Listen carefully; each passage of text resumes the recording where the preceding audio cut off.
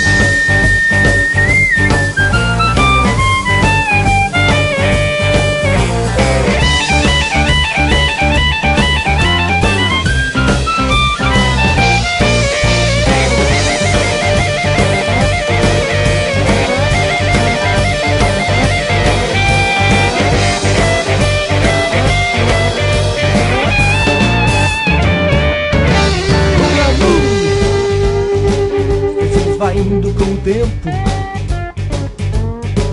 vai descobrir no cenário underground. Eu vivi no mundo paralelo, virtual, mas fora da net.